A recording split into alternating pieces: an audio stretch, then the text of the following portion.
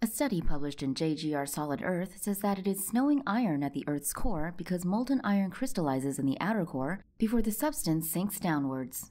The University of Texas at Austin said in a press release that these iron particles form a 300 kilometer layer above the Earth's solid inner core.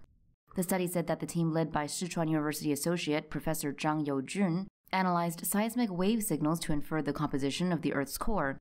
The university says the scientists found seismic waves propagating slowly in the outer core's base but quickly in the eastern hemisphere of the top inner core. The researchers believe that the varying thickness of the iron slurry layer is the cause of the speed difference. They theorize that the iron particles have the effect of slowing seismic wave travel and that the substance is thinner on the inner core's eastern hemisphere.